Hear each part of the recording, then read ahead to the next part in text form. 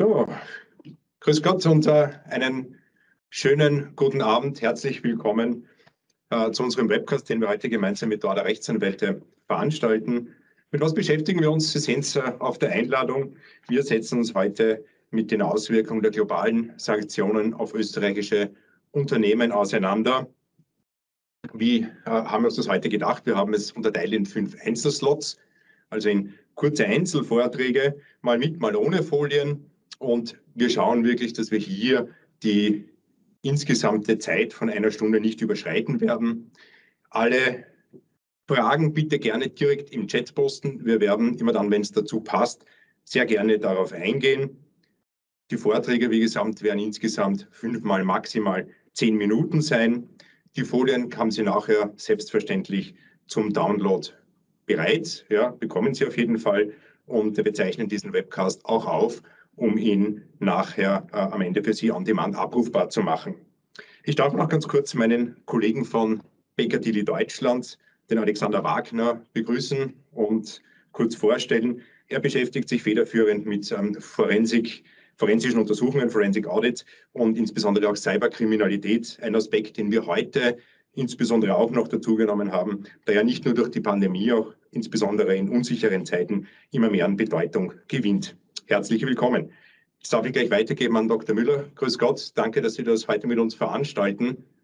Ihre Bühne, bitte.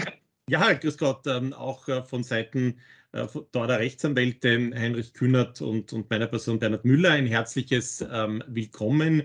Wir freuen uns auf eine spannende Veranstaltung. Ich darf Ihnen äh, zwei weitere Redner vorstellen, äh, die nicht von dort kommen. Zunächst den Herrn Dr. Arnold Kammel.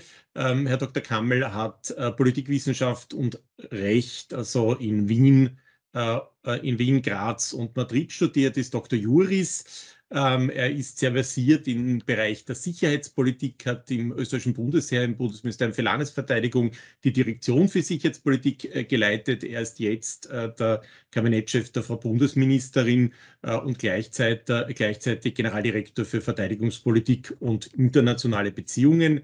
Ähm, lieber ähm, lieber Arnold, ähm, herzlich willkommen und danke, äh, dass du dir äh, für diese Veranstaltung heute Zeit genommen hast.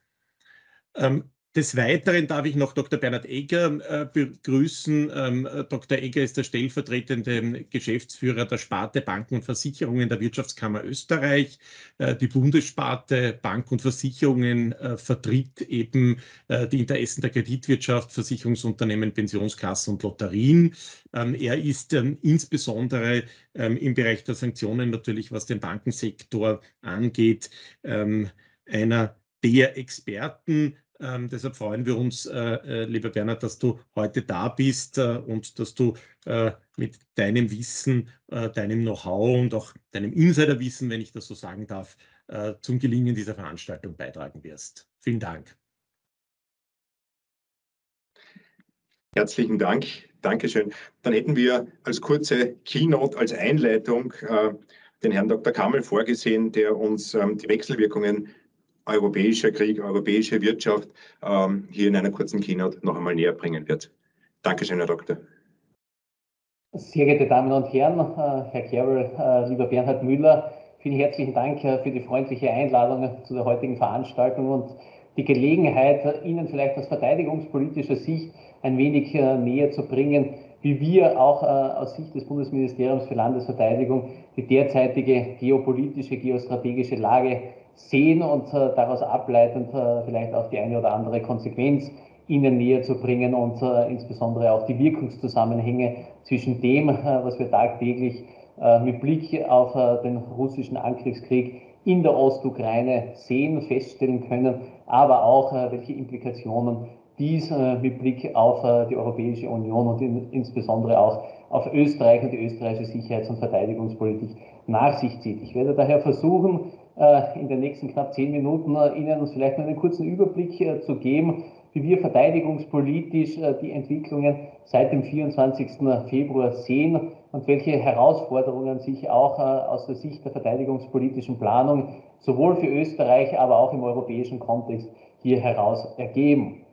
Sie werden es wahrscheinlich des Öfteren gehört haben und es wird oftmals darauf verwiesen, dass der 24. Februar in gewisser Weise eine Zeitenwende nicht nur im Bereich der europäischen Sicherheits- und Verteidigungsordnung, sondern auch der europäischen Integration generell darstellt, weil mit dem 24. Februar und mit dem Beginn des Angriffskrieges der Russischen Föderation auf die Ukraine der Krieg wieder Realität in Europa geworden ist und wir auch in sicherheits- und verteidigungspolitischer Hinsicht uns quasi einer neuen Herausforderung hier zu stellen haben. Um Ihnen diese Zeitenwende vielleicht anhand von zwei kurzen Dokumenten entsprechend näher zu bringen, habe ich das erste strategische Dokument der Europäischen Union hergenommen, die Europäische Sicherheitsstrategie, die im Nachhang zu 9-11 erstmalig einen gewissen Handlungsrahmen für die Europäische Union und die Sicherheits- und Verteidigungspolitik gegeben hat und das Sicherheits- und Verteidigungspolitische Handeln bestimmt hat. Und diese Europäische Sicherheitsstrategie von 2003 beginnt mit den Worten, ich zitiere, nie zuvor ist Europa so wohlhabend, so sicher und so frei gewesen. Die Gewalt der ersten Hälfte des 20. Jahrhunderts ist einer in der europäischen Geschichte beispiellosen Periode des Friedens und der Stabilität gewichen.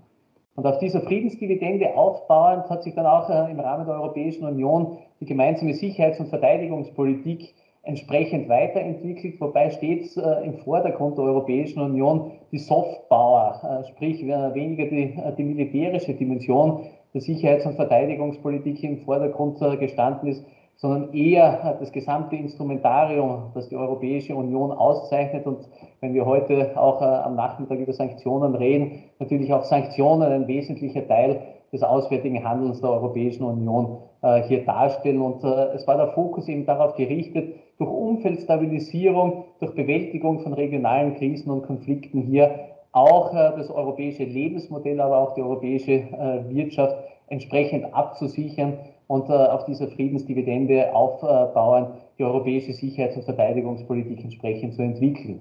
Wenn wir nun das zweite Dokument hernehmen, den sogenannten strategischen Kompass, der von den Staats- und Regierungschefs der Europäischen Union gerade im März diesen Jahres verabschiedet wurde, so liest sich die gleiche Einleitung, die ich Ihnen aus dem Jahr 2003 zitiert habe, doch völlig anders.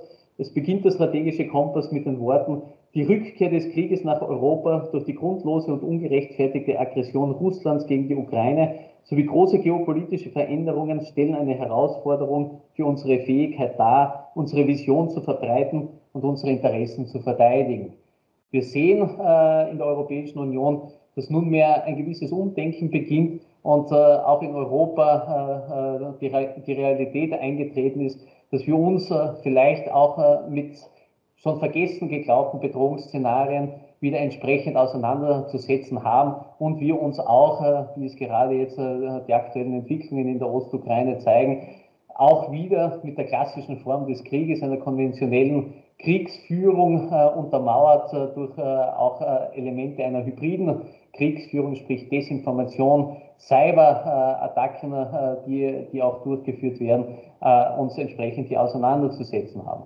Was aber mit Blick auf die Ukraine oftmals in den Hintergrund gerät, sind die, die Wirkungsketten, die sich aufgrund dieser kriegerischen Auseinandersetzung in der Ukraine auch auf andere für Österreich wesentliche Schwerpunktregionen hier ergeben können. Und wenn wir beispielsweise hier nur die zentralen Regionen für Österreich hernehmen, wo auch wir als Verteidigungsressort österreichisches Bundesheer entsprechend mit Truppen und entsprechend mit nationalen Kontingenten vertreten sind, so sehen wir die direkten Wechselwirkungen zwischen äh, einerseits dem Krieg in der Ukraine und andererseits äh, beispielsweise der sich verschlechternden Sicherheitslage am Westbalkan.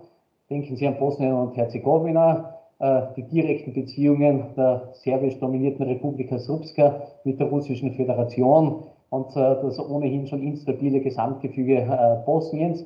Nehmen Sie die Situation beispielsweise im Kosovo her, aber auch in den anderen Ländern des Westbalkan, wo wir sehen, dass die Instabilität und auch die Einflussnahme externer Akteure auf diese Region zunimmt. Es sei dabei nicht nur allein die Russische Föderation erwähnt, sondern auch beispielsweise die Türkei, die natürlich am Westbalkan hier auch versucht, über ihre unterschiedlichen Wirkmitteln auch ihre nicht nur sicherheitspolitischen, sondern auch ihre wirtschaftlichen Interessen entsprechend zum Ausdruck zu bringen. Schauen wir weiter nach Afrika und auch hier der Schwerpunkt unseres Ressorts auf Westafrika und unser Kontingent in Mali. Sie werden es den Medien entnommen haben, auch dort die russische Söldnergruppe Wagner präsent, führt zu einer Diskussion in der Europäischen Union, wie unser künftiges Engagement entsprechend aussehen sollte. Aber auch hier muss sich Europa die Frage stellen, was bewirkt es oder was ist die Konsequenz, wenn eben diese Söldnergruppe auftritt? Sollen wir daher als Europäer beginnen, uns aus diesen Krisen, Krisenregionen zu verabschieden? Wer wird das Vakuum füllen, wenn wir als Europäer dort nicht mehr präsent sind? Und, wenn man hier die wirtschaftliche Dimension hernimmt, gerade in vielen dieser Regionen und in diesen Konfliktsituationen sind wir auch damit konfrontiert, dass diverse Rohstoffe, die für das Funktionieren unserer Wirtschaft von entscheidender Bedeutung sind, sich dort finden und dementsprechend auch das militärische Engagement, die eine Verbindung sozusagen auch zum wirtschaftlichen Engagement entsprechend darstellt. Es sieht gleich aus in anderen Regionen Osteuropas. Ähnliches sehen wir auch im Nahen und Mittleren Osten. Sprich, in all den Schwerpunktregionen für die Europäische Union sind wir mit Instabilitäten und Vulnerabilitäten konfrontiert die dadurch, dass Russland, auch die russische Föderation in diesen Regionen aktiv ist, immer einen Wettstreit der Europäischen Union auch mit Russland entsprechend nach sich ziehen. Was auch bei dieser Gesamtbetrachtung oftmals übersehen wird, sind andere Dimensionen, die vielleicht uns als Österreicher, als landlocked country sozusagen nicht primär in den Sinn kommen. Die gesamte Frage der Seewege, man denke daran, die französische Ratspräsidentschaft hat jetzt gerade äh, dafür plädiert, eine Strategie für den Indo-Pazifik äh, zu erstellen, was vielleicht für uns als Österreicher auf den ersten Blick äh, nicht das zentrale oder die zentrale Region unserer Sicherheits- und Verteidigungspolitik darstellt. Wenn man aber bedenkt, dass rund ein Fünftel bis zu einem Viertel des Welthandels, der über den Seeweg betrieben wird, durch die Straße von Malakka verläuft, beziehungsweise durch das südchinesische Meer, so stellt sich auch hier die Frage, welche Rolle Europa und damit auch Österreich in diesem Kontext entsprechend einnehmen wird. Ich glaube, wir sind grundsätzlich mit dem Problem konfrontiert, dass wir eine sehr global diversifizierte Volkswirtschaft haben und daher die Frage der Lieferketten und auch der Frage der Rohstoffstrategie gerade für Europa von entscheidender Bedeutung ist. Und wenn wir hier auch als Akteur wahrgenommen werden wollen. Und wenn es uns auch gelingen sollte, die für uns und unsere Wirtschaft essentiellen Rohstoffe hier entsprechend abzusichern, so bedarf es neben der reinen sicherheits- und verteidigungspolitischen Bewertung auch äh, der Beachtung von Lieferketten zu Lieferwegen äh, mit Blick auf die Europäische Union. Und äh, wenn Sie nur daran zurückdenken, äh, dass ein äh, nicht äh, minder prominenter deutscher Politiker einmal vor knapp eineinhalb Jahrzehnten äh, das Statement äh, getätigt hat, äh, Europa und damit auch Deutschland möge seine Interessen am Hindukusch beginnen zu vertreten, um hier auch entsprechend die Wirtschaftsmacht Europa und die europäischen Werte und Interessen entsprechend abzusichern. So sehen wir das, was vielleicht damals als nicht, als nicht sehr reales Szenario eingeschätzt wurde, mittlerweile doch ein reales Szenario einstellt. Und auch die Covid-Pandemie hat äh, mit Sicherheit die Vulnerabilitäten der europäischen Wirtschaft und äh, unsere Abhängigkeiten von anderen, äh, vielleicht nicht ganz so stabilen Räumen und Regionen dieser Welt klar zum Ausdruck gebracht. Und als letztes Beispiel in diesem Kontext sei auch nur erwähnt die Blockade des Suezkanals durch die Havarie dieses Frachtschiffes, der Evergreen, wo auch hier die Lieferwege nach Europa beeinträchtigt waren und wir hier äh, in unterschiedlichen äh, Wirtschaftssegmenten äh, dann ein Fehl- und Mangellagen konstatieren konnten. Ich glaube daher, dass es notwendig ist und dass die Ukraine-Krise hier auch ganz klar zum Ausdruck bringt, dass, dass es Europa und der Europäischen Union viel stärker gelingen muss, seine Interessen zu definieren und auch klar zum Ausdruck zu bringen, dass unsere wirtschaftlichen Interessen entsprechend untermauert werden müssen und dass das halt vielleicht, und äh, das mag auch in Österreich nicht immer sehr populär sein, es auch eines entsprechenden militärischen oder verteidigungspolitischen Backings äh, diesbezüglich äh, bedarf, um hier auch europäische Interessenspolitik entsprechend zu berücksichtigen. Der zweite Punkt ist, ich glaube, wir müssen als Europäer auch beginnen, strategischer zu denken. Wir haben eben viel zu lange in dieser Friedensdividende gelebt und dadurch vielleicht ein wenig vergessen, hier diese Wirkungsketten und Wirkungszusammenhänge besser zu analysieren und auch unsere Wirtschaft und unser Wirtschaftssystem als solches resilienter äh, aufzustellen und damit äh, diese Abhängigkeiten, die sich auch aus den Interdependenzen ergeben, äh, vielleicht etwas äh, zu vermindern äh, und hier auch äh, in Europa gerade mit Blick auch auf kritische Industrie den, den einen oder anderen, die eine oder andere Produktionssparte quasi wieder selbst aufzunehmen, um hier auch autarker als Europäer generell zu werden. Ich glaube, um die zehn Minuten nicht zu sehr zu sprengen, gerade die Ukraine-Krise bringt uns deutlich vor Augen, wie sehr wir vielleicht auf den ersten Blick nur als regionale Konflikte analysierte Situationen, sicherheitspolitische Herausforderungen, wie sehr ein derartiger regionaler Konflikt auch Auswirkungen auf andere Regionen dieser Welt zeigt.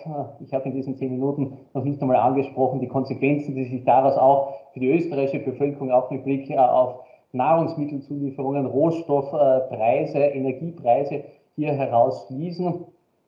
Ich, glaube, es muss uns eben äh, daher gelingen, einerseits festzuhalten, was sind für uns die strategisch relevanten Märkte, wie gelingt es uns auch äh, als Europäische Union und als Österreich, diese Märkte entsprechend so abzusichern, dass sie auch äh, krisenfähig und äh, krisenresistent sind.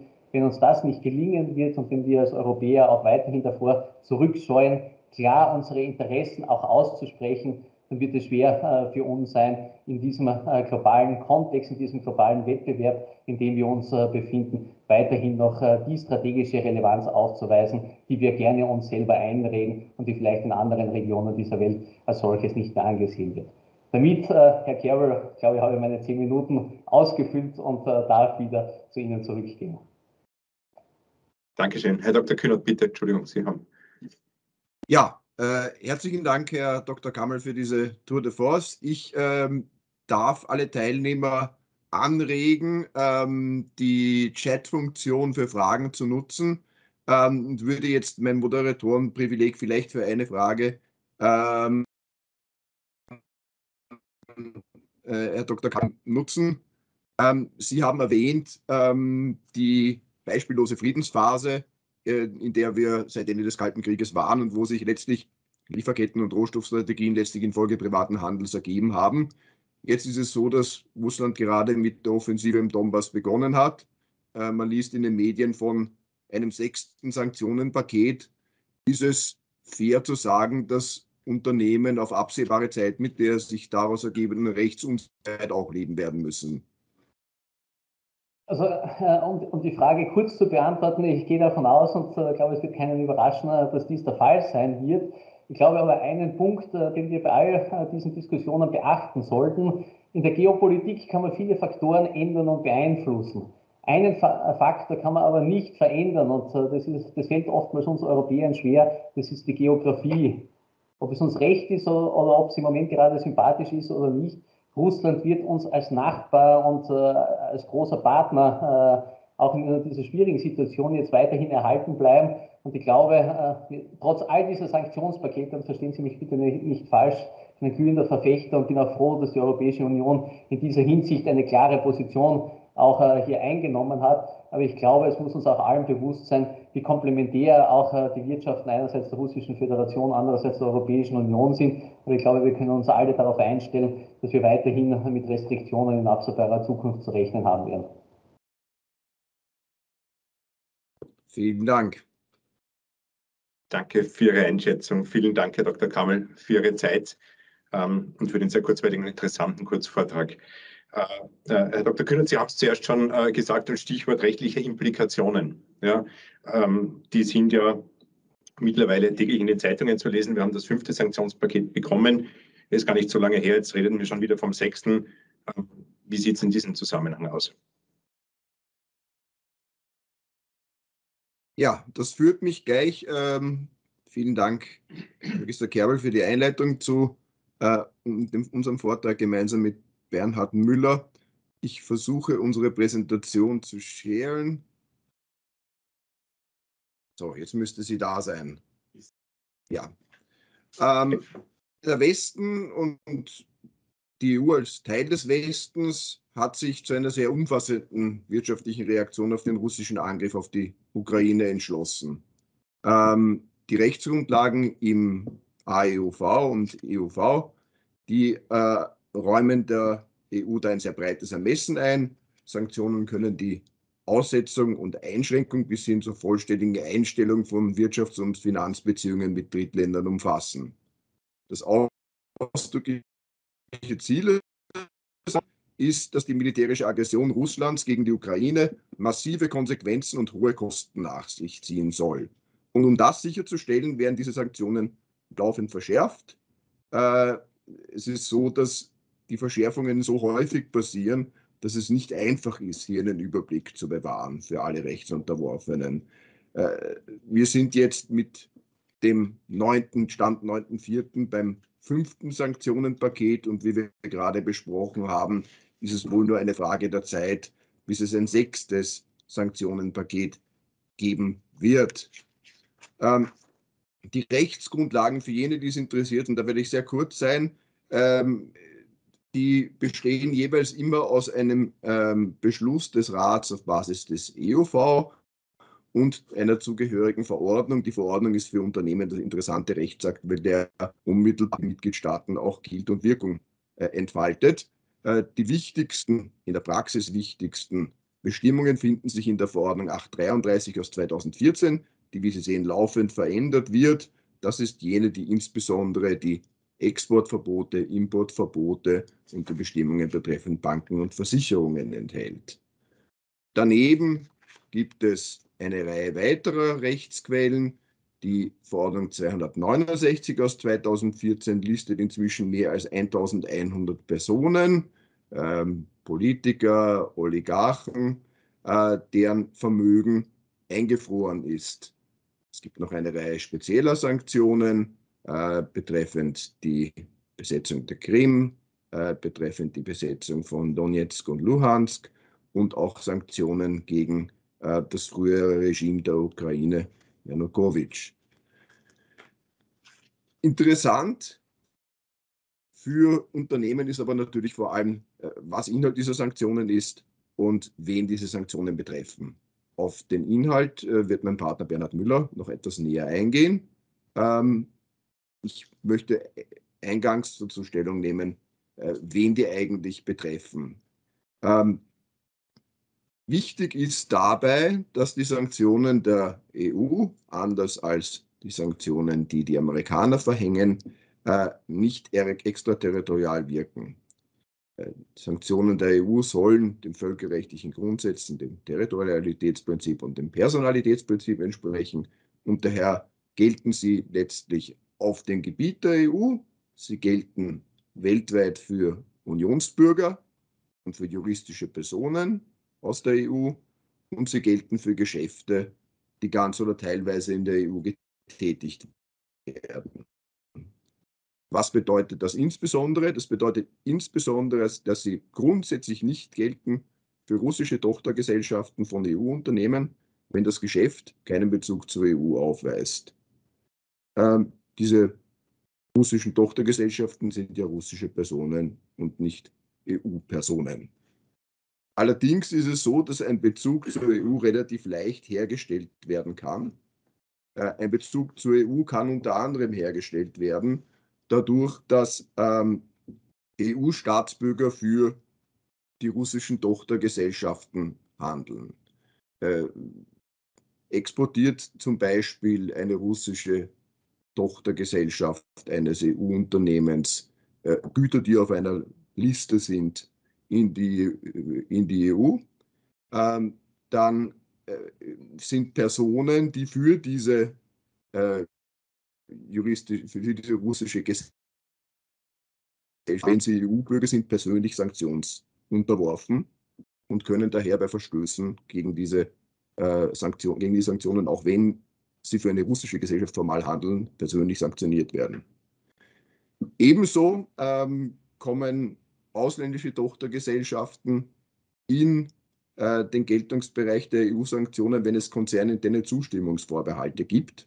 Wenn also eine ausländische Tochtergesellschaft, die nicht in der EU sitzt, für ein Geschäft, das sanktionsbefangen ist, einen, eine Zustimmung der österreichischen Muttergesellschaft braucht, dann greifen die Sanktionen, weil es diesen Zustimmungsvorbehalt gibt. Und die Kommission sagt auch, dass eine Umgehung durch zum Beispiel eine Delegation sanktionsbefangener Geschäfte an eine ausländische Tochtergesellschaft, die an sich nicht den Sanktionen unterläge, dass die ebenfalls eine Umgehung darstellen kann und eine Umgehung äh, demnach auch dann einen Verstoß gegen die Sanktionen auslösen könnte. Wird vor allem dann der Fall sein, wenn spezifisch ähm, Geschäfte, die zuvor von einer österreichischen Gesellschaft vorgenommen wurden, in, in, Zukunft vorgenommen werden sollen von einer Tochtergesellschaft, äh, damit die Sanktionen nicht greifen. Das wäre eine Umgehung nach Auffassung der Kommission und würde daher ebenfalls gegen die Sanktionen verstoßen. Wichtig zum territorialen Geltungsbereich ist auch, dass es bei bestimmten Exportbeschränkungen Genehmigungsmöglichkeiten gibt ähm, für den Export an russische Tochtergesellschaften von europäischen, das heißt auch österreichischen Muttergesellschaften. Äh, die sind allerdings relativ versprengt und kompliziert. Es gibt diese Genehmigungsmöglichkeit für Dual-Use-Güter, es gibt sie für Technologiegüter, sie gilt aber nicht für die sehr lange Liste an Gütern, die äh, nach dem fünften Sanktionenpaket ebenfalls von Export verboten wurde. Das muss man sich also leider im Detail ansehen. Was sind die Folgen, wenn nun eine Person kommt und gegen die Verbote, auf die wir noch eingehen werden, verstößt? Es gibt strafrechtliche Drohungen. Ähm, verboten gibt es eine Strafbarkeit nach dem Außenwirtschaftsgesetz von bis zu drei Jahren. Ähm, bei bestimmten Rechtsgeschäften, das betrifft wohl vor allem Banken, die Zahlungsmittel und Wertpapiere betreffen, gibt es eine Sonderstrafdrohung im Devisengesetz. Da kann eine Freiheitsstrafe bis zu einem Jahr drohen. Und ähm, nach dem Sanktionengesetz gibt es quasi einen Auffangtatbestand, der ebenfalls eine Strafdrohung von bis zu einem Jahr vorsieht. Die Strafbarkeit entfällt nach äh, den Sanktionen, wenn das Unternehmen nicht wusste und auch keinen vernünftigen Grund zur Annahme hatte, dass ihr Handeln gegen die, gegen die Sanktionen verstößt.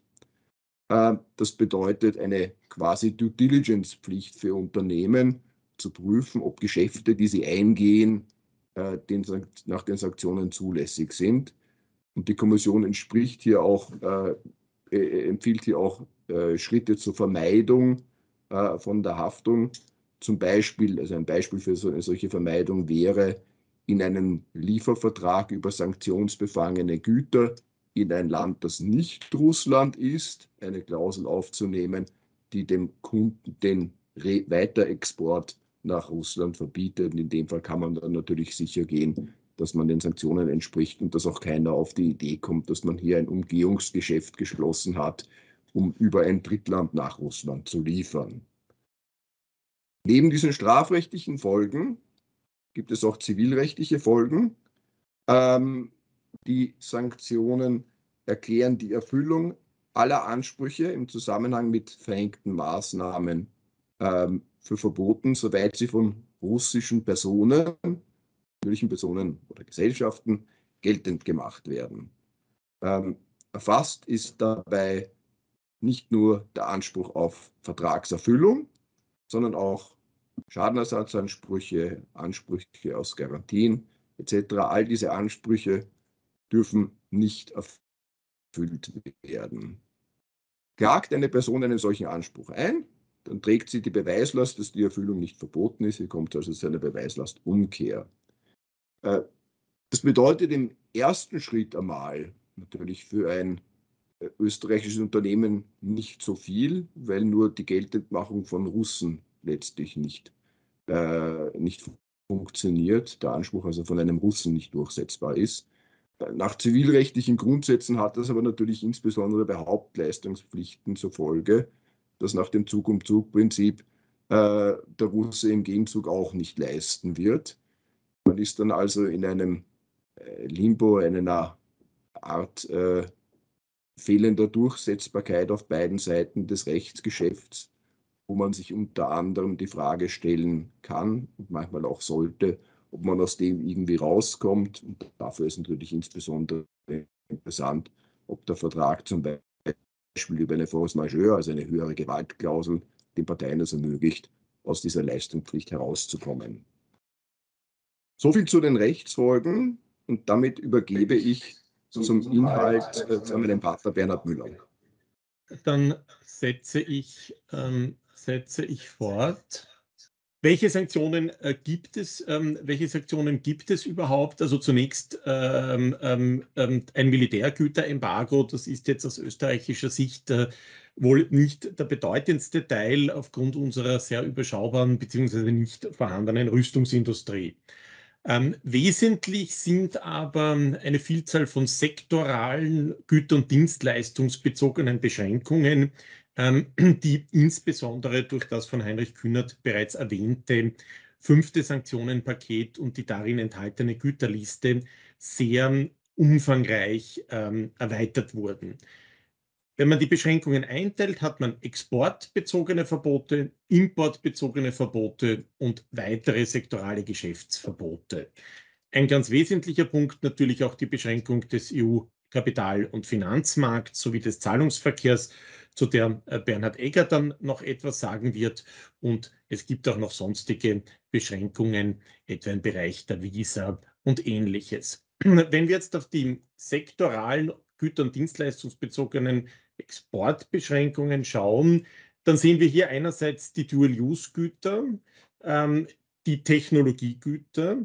Technologiegüter Dual-Use-Güter sind Güter mit doppeltem Verwendungszweck, also Güter, die sowohl einer zivilen als auch einer militärischen Verwendung zugeführt werden können. Und man daher eben sozusagen nicht wollte, dass die künftig in die Russische Föderation exportiert werden.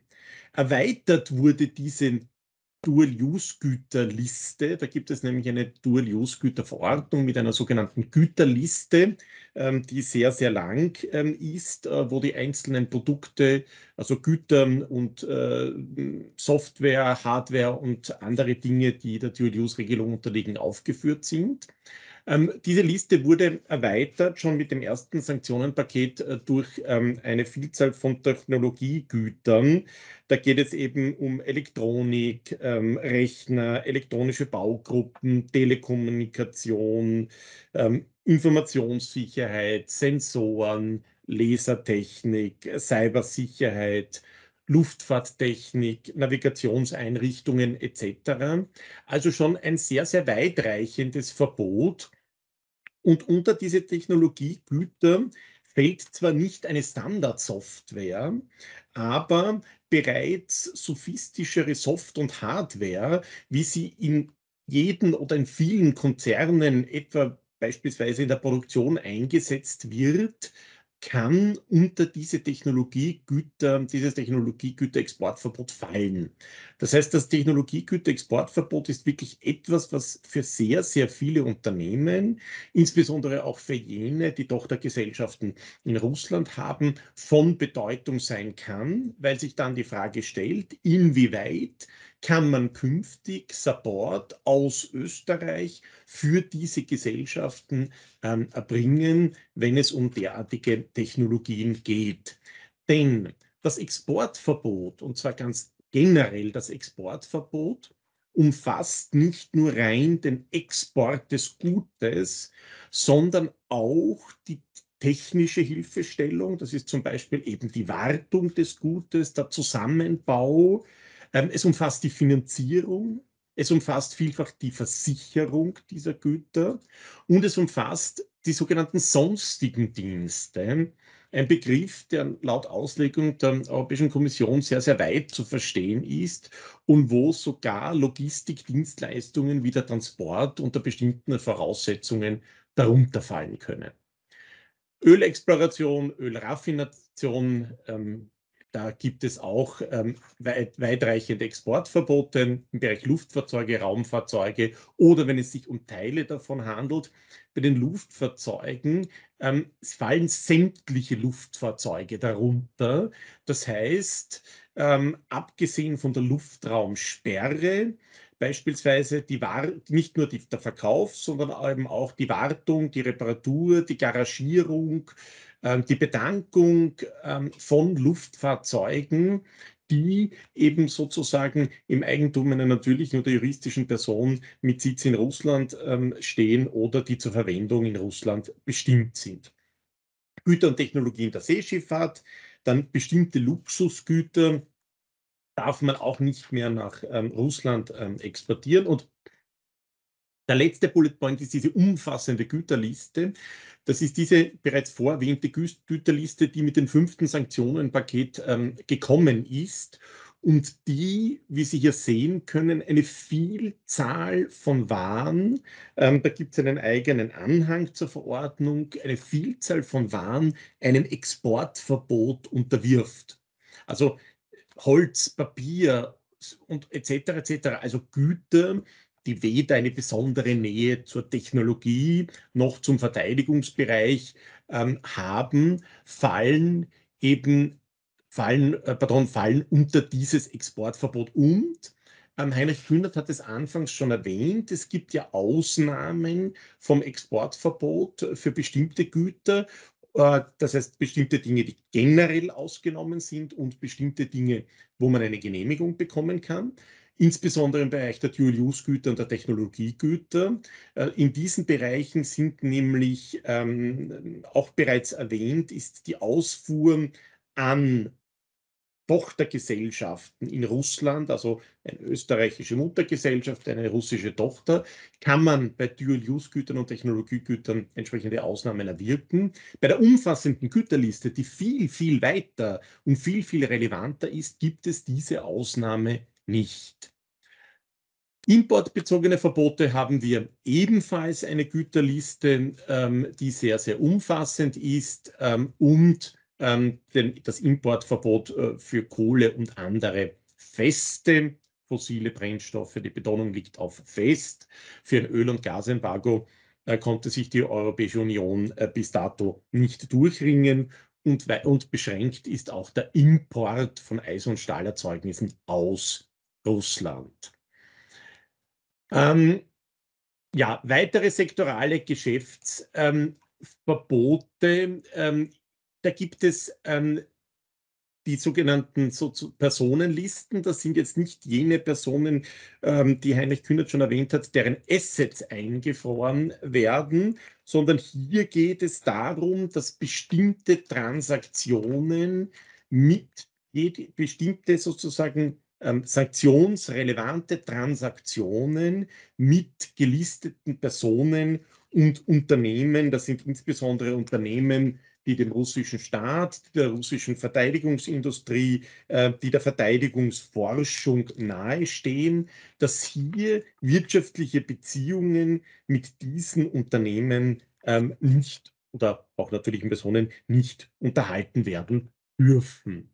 Ähm, Ausnahmen gibt es ähm, nur für, also es gibt Ausnahmen ähm, äh, im Bereich der sektoralen Geschäftsverbote für Transaktionen, ähm, die äh, für den Kauf, die Ein- für die Beförderung von fossilen Brennstoffen, mittlerweile nur mehr ähm, sozusagen nicht feste fossile Brennstoffe ähm, unbedingt erforderlich sind.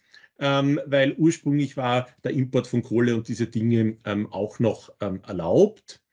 Dann wurde mit dem fünften Sanktionenpaket auch der Zugang zu den EU-Häfen und der Gütertransport äh, sehr, sehr stark ähm, limitiert.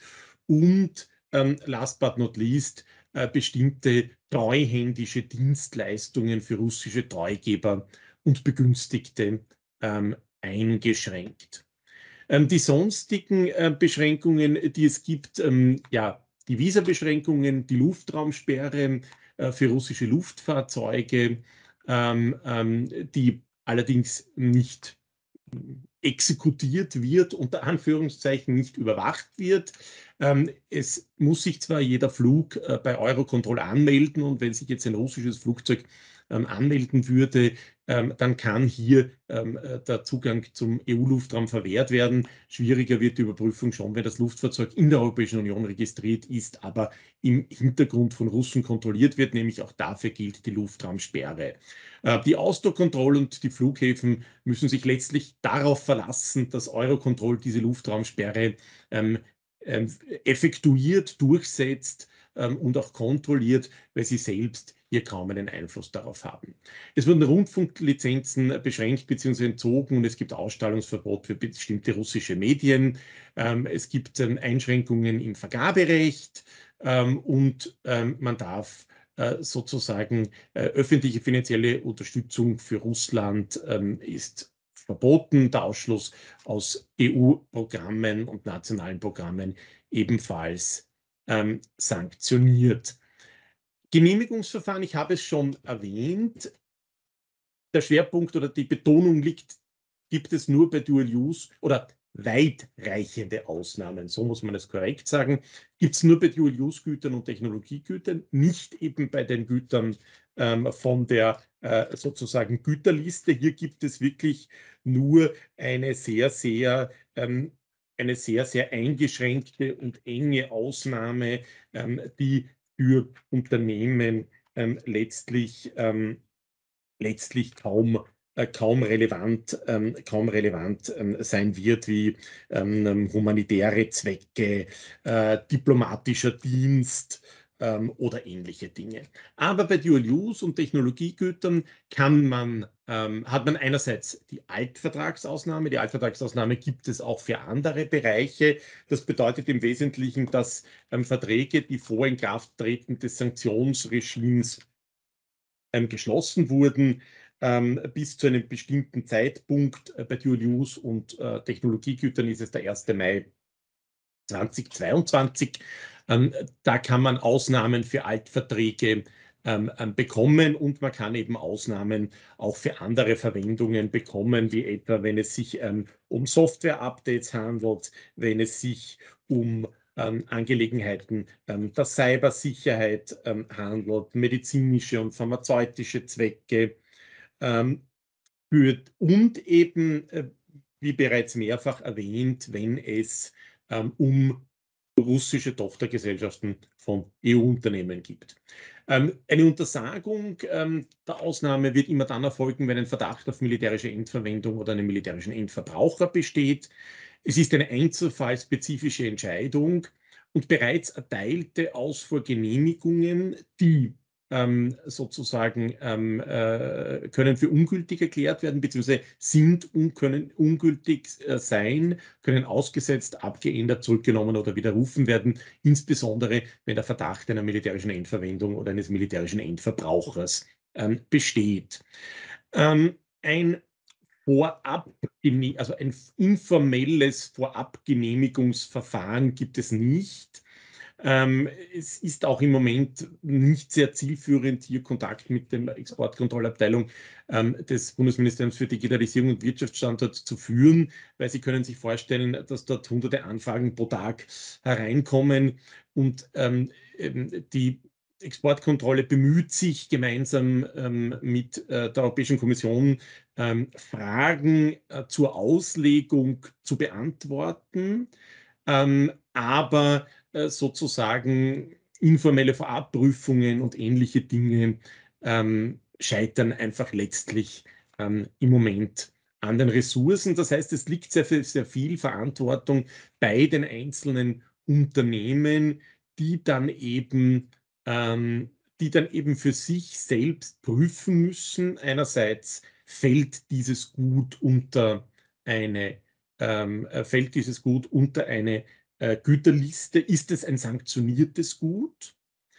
Ähm, da gibt es eben einerseits äh, die sehr lange Dual-Use-Güterliste, wo sehr, sehr viele Güter, die eben nicht prima facie verteidigungsnah wirken, ähm, das können auch äh, Werkstoffe sein, Metallwaren, Telekommunikationseinrichtungen etc. sind dort enthalten. Ähm, und da ist es mitunter ähm, schwierig, ähm, ähm eine Güterklassifizierung selbst vorzunehmen. Ähm, da hilft das TARIC-System der EU-Kommission.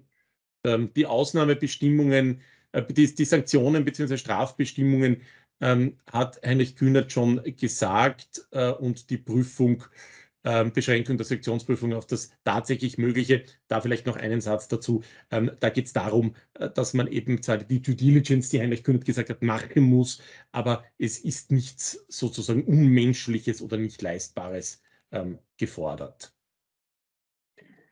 Super, herzlichen Dank. Äh, danke, Dr. Müller, danke, Dr. Kühnert. Das waren ähm, wirklich sehr, sehr interessante Ausführungen, auch sehr, sehr sehr umfassende Ausführungen, wie die Sanktionen sind. Ich habe mir eigentlich im Vorfeld schon einmal so ein paar Fragen überlegt, die mich wirklich interessieren würden.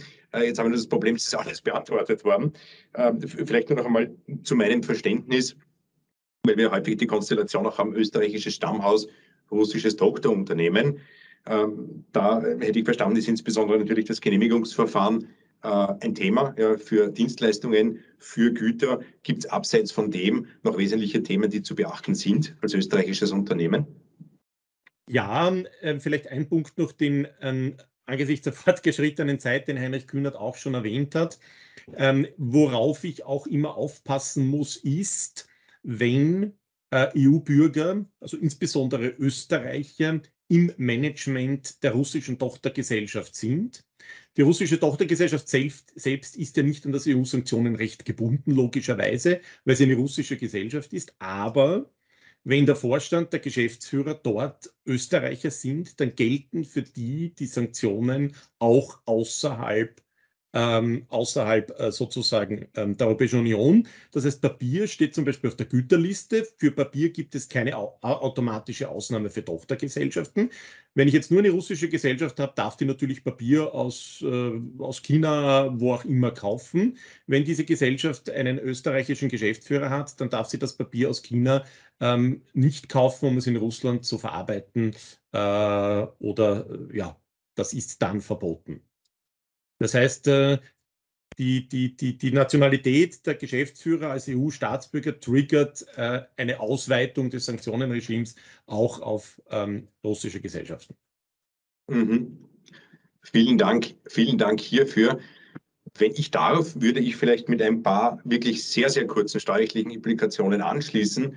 Ich äh, würde mich wirklich nur auf ein paar kurze Highlights zurückziehen und also maximal fünf Minuten Ihrer Zeit hier in Anspruch nehmen weil mir natürlich bewusst ist, das Steuerrecht ist hier insbesondere nicht ähm, der zentrale ähm, Themenschwerpunkt.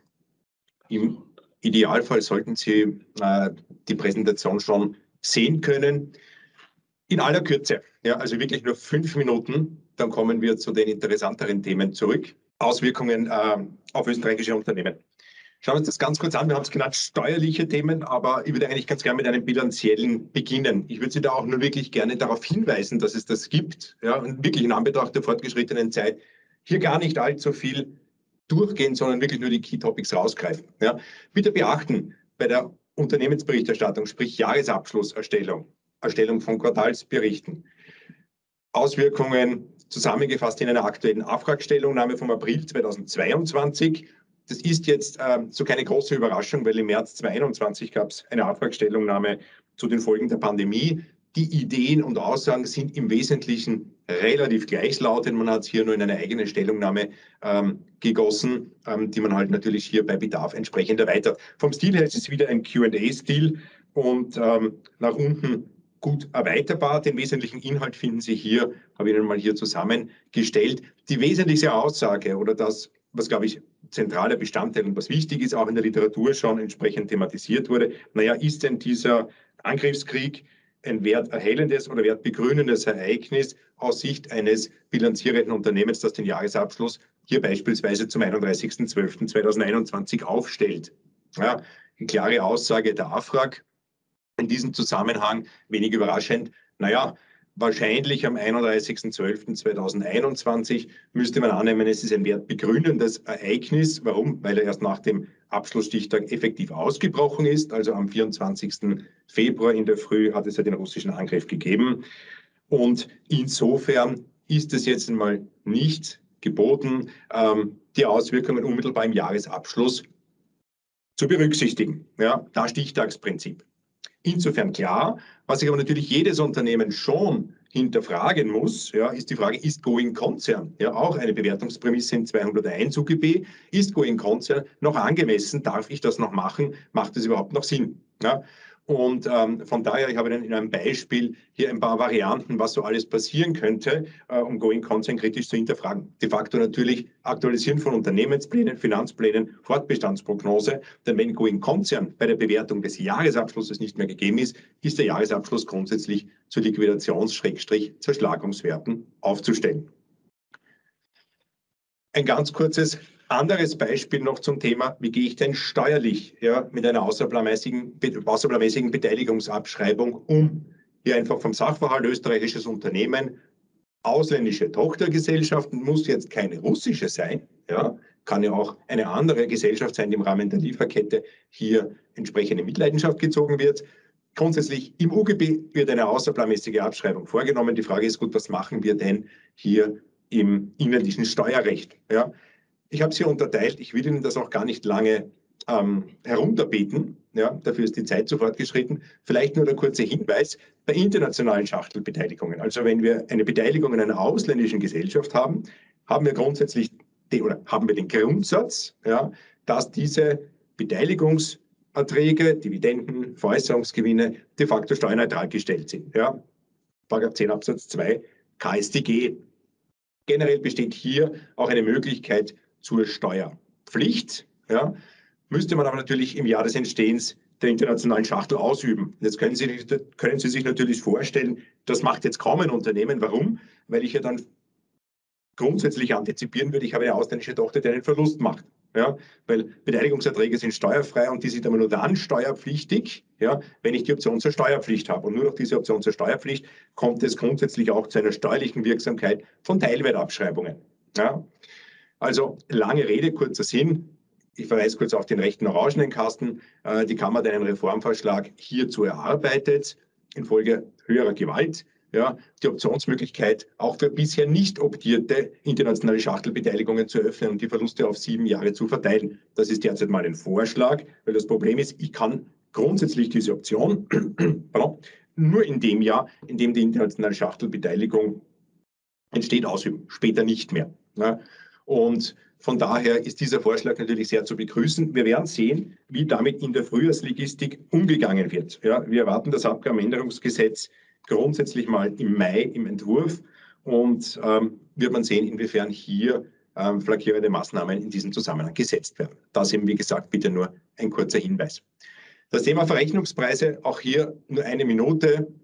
Kurzer Verweis auf die Covid-19-Leitlinie der OECD aus dem Jahr ich glaube, es war Dezember 2020, grundsätzlich auch für die bestehende Krise herzunehmen. Ja, auch hier, und da gehe ich jetzt wirklich sehr schnell drüber, relevant, viele gute Aussagen darin.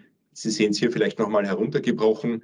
Sie müssen dieselben äh, Fragen stellen, ja, unabhängig davon, welche Krise es jetzt tatsächlich ist. Wie ist die Funktionsverteilung? Wie ist die Risikoverteilung? Welche Risiken haben sich vielleicht zwischen Strategieträger, sprich Stammhaus, ja, und ähm, Routinetätigkeit ausführenden Unternehmen, Routineunternehmen verlagert? und müssen hier gegebenenfalls auf Basis von dem eine Neubewertung vornehmen. Insbesondere natürlich überlegen bei Einmalkosten und insbesondere eine Neubewertung, Neubewertung wenn die Änderungen von Dauer sind. In aller Kürze noch ein paar Worte zu äh, Spenden. Das BMF hat es äh, hier auch im März nochmal gut äh, klargestellt äh, und äh, die Frage war ja, naja, wie geht man hier generell mit Spenden um? Ja, also mit Geldspenden, mit Sachspenden und da haben wir jetzt mehrere Beispiele. Ich glaube, generelle Unterscheidung und was wichtig ist zu sagen, ähm, die Spenden für die Ukraine sind definitiv Katastrophenhilfen, hat auch das BMF hier noch einmal klargestellt. Äh, es geht hier äh, in Form von kriegerischen Auseinandersetzungen, Flüchtlingskatastrophen schnell und unbürokratisch zu helfen. Und das, was das ESDG, KSDG grundsätzlich so nicht kennt, ja, in seiner DNA, das sind äh, eigentlich äh, ist die Überlegung zu sagen, Spenden sind Betriebsausgaben. Ja. Und das ist eben hier mit Paragraph 4 Absatz 4 Ziffer 9 ja, für Katastrophenhilfen der Fall. Der große Vorteil ist, es ist unabhängig davon steuerlich abzugsfähig, wem die Spende gegeben wird. Sind das ausländische Familien, sind das ausländische Personen, sind das in- oder ausländische Organisationen? Ja, wenn damit eine gewisse Werbewirksamkeit verbunden ist. Und auch die wird nach BMF-Info eher generös ausgelegt. Ja. Ähm, kurzer Hinweis auch noch, die Spenden sind hier betraglich nicht limitiert. Ja, das heißt, sie können sogar im Betriebsvermögen zu einem Verlust führen. Rechter Teil davon 4a ESDG, da sind sie kein Betriebsausgabenabzug. Ja, also die sind determiniert, wenn es jetzt eben nicht für Katastrophenhilfen äh, äh, sind, ist es ein eigener Abzugsposten. Das ist ein Sonderposten bei der Einkunftsermittlung, aber grundsätzlich keine Betriebsausgabe. Großer Nachteil, Sie können sich grundsätzlich nur äh, auf die Institutionen beziehen, die im ESDG, im Paragraph 4 4 ESDG, 4a ESDG angeführt sind, beziehungsweise Spendenliste beim BMF. Ja, und sie sind auch betraglich limitiert. Also summa summarum, äh, vom Unternehmen geleistete Spenden für Katastrophenhilfen sicherlich ein großer Vorteil. Sie sind frei bei der Auswahl, Sie können es betrieblich geltend machen, brauchen eine gewisse Werbewirkung, ähm, aber ich denke, die wird sich gut erziehen lassen. In diesem Sinne bin ich jetzt hier gleich durch und stehe für allfällige Fragen äh, natürlich jederzeit gerne zur Verfügung. Vielen Dank, Herr Magister Kerbel. Das zeigt, dass neben den unmittelbaren Rechtsfolgen von Sanktionen man noch einen Wust an Folgeproblemen natürlich mitdenken muss. Ähm, ich hätte eine Frage, die vielleicht stärker den privaten Bereich betrifft als äh, den unternehmerischen, den Sie jetzt beleuchtet haben. Äh, es gibt ja eine Reihe von Österreichern und Österreicherinnen und Österreichern, die äh, sich zum Glück bereit erklärt haben, auch äh, Flüchtlingen ihre Wohnung und unentgeltlich zu überlassen. Äh, wie, wie, wie ist denn das steuerlich zu betrachten? Ja, äh, das ist eigentlich eine sehr interessante Frage und gleichzeitig auch wieder sehr diffizil. Ähm, ähm, vielleicht ähm, kurz im, im, im, privaten Bereich äh, haben wir leider nur die steuerliche Absetzbarkeit von Geldspenden. Ja, also Insofern ist hier die unentgeltliche Überlassung von Wohnraum nicht als Sachspende im Rahmen von Sonderausgaben abzugsfähig denke mal, wieder im unternehmerischen Bereich ist natürlich die Frage, und ich glaube, da muss man sehr auf die Abgrenzung aufpassen, ist es jetzt ähm, noch äh, ein Prekarium ja, oder ist es dann de facto ein Mietvertrag, insbesondere wenn nicht nur laufende, sondern auch, also nicht nur verbrauchsabhängige, sondern auch einmalige Kosten übernommen werden, wie zum Beispiel eine Grundsteuer oder eine Hausverwaltung. Ja. Also ich denke, das wird dann äh, rechtlich immer diffiziler. Grundsätzlich die steuerliche Absetzbarkeit für beispielsweise ähm, fiktive entgangene Miete ähm, ist jetzt hier äh, also nicht vorgesehen. Zum einen müssen wir natürlich auch sagen, wenn das Unternehmen, das sonst viele Miete, äh, viele, viele Wohnungen vermietet, hier äh, eine Flüchtlingen zur Verfügung stellt, fällt sowieso die Miete weg. Ja, also ist insofern auch kein Ertrag hier zu verbuchen. Vielen Dank.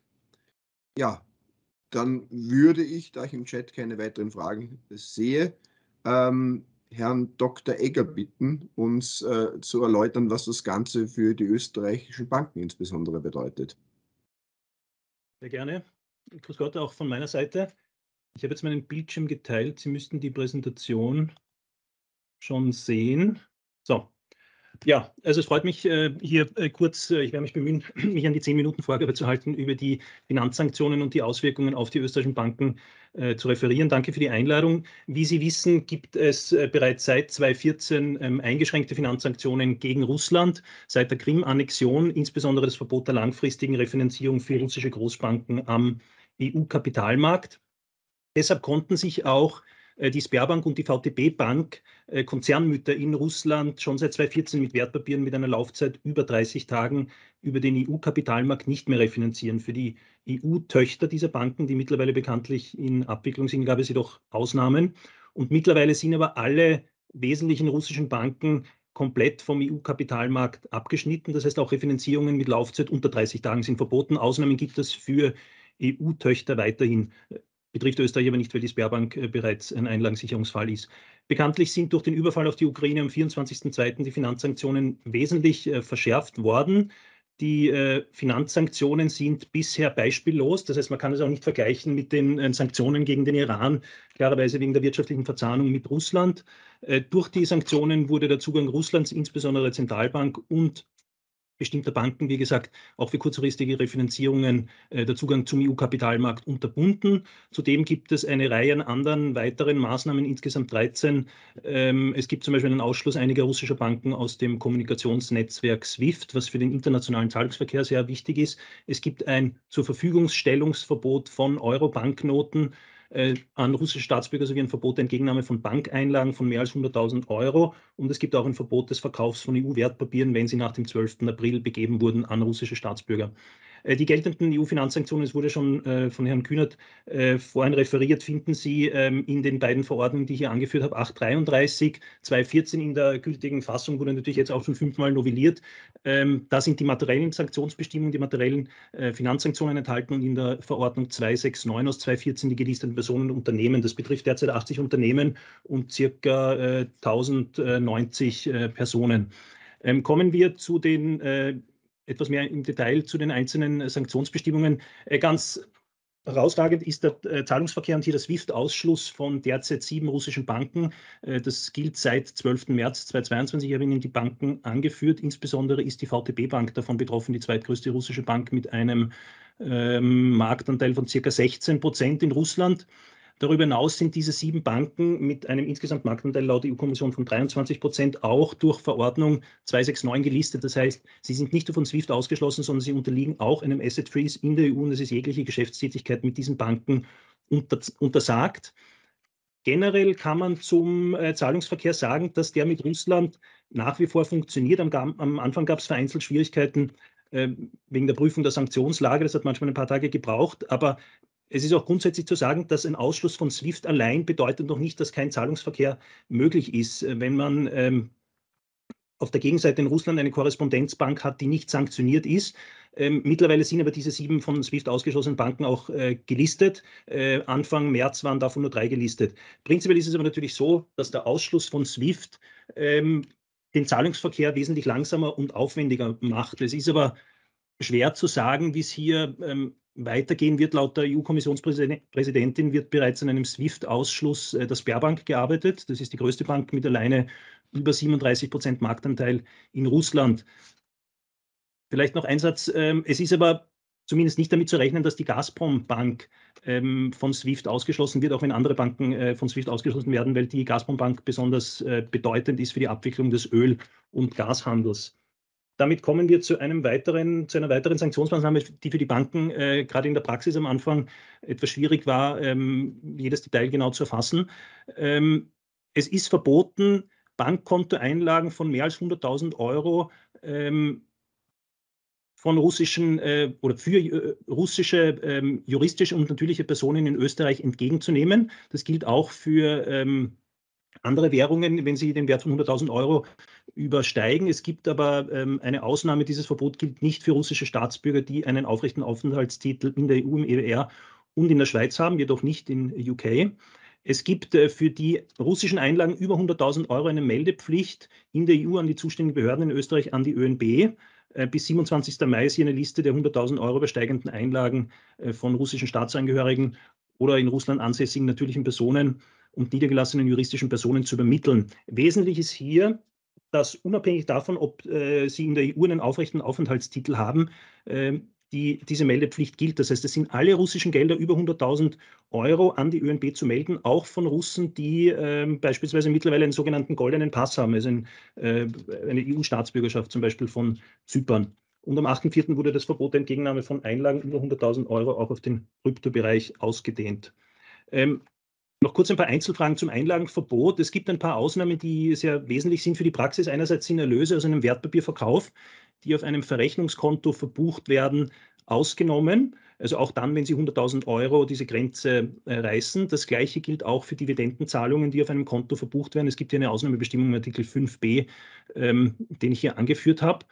Und eine äh, wesentliche Frage ist auch immer die Prüfung des äh, wirtschaftlichen Eigentümers.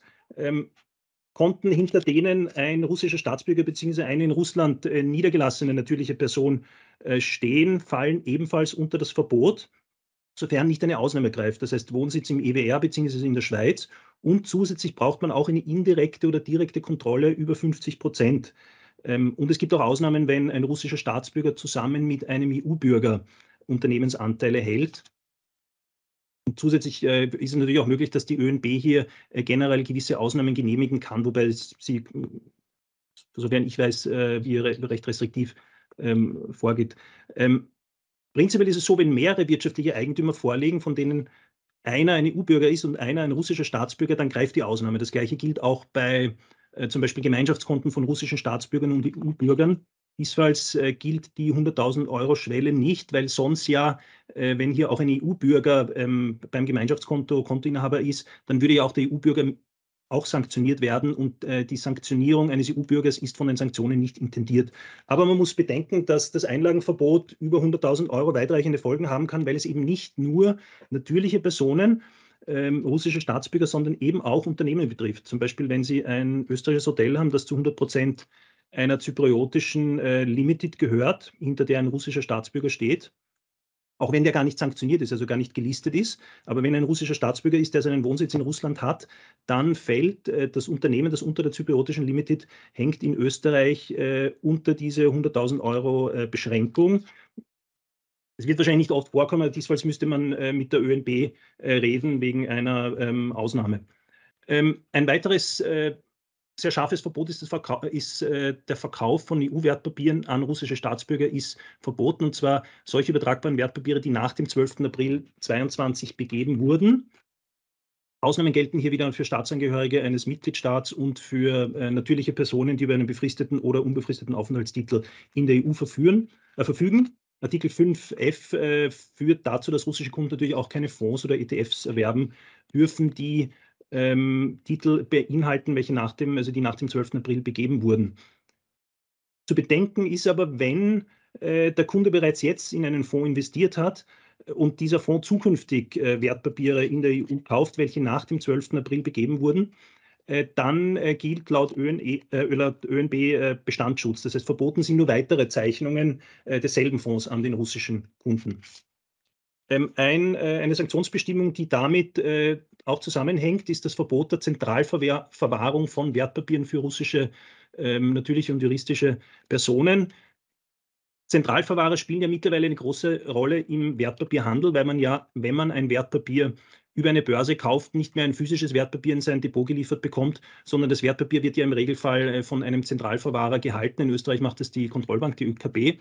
Und gemäß Artikel 5e äh, der Verordnung 833 ist es eben EU-Zentralverwahrern verboten, äh, hier Dienstleistungen für Wertpapiere zu erbringen, die nach dem 12. April 2022 an russische Staatsangehörige ähm, oder an juristische Personen ausgegeben wurden. Auch hier wieder Ausnahmen gelten für Staatsangehörige eines Mitgliedstaats, also für Doppelstaatsbürger und äh, Russen, die einen Aufenthaltstitel in der EU haben.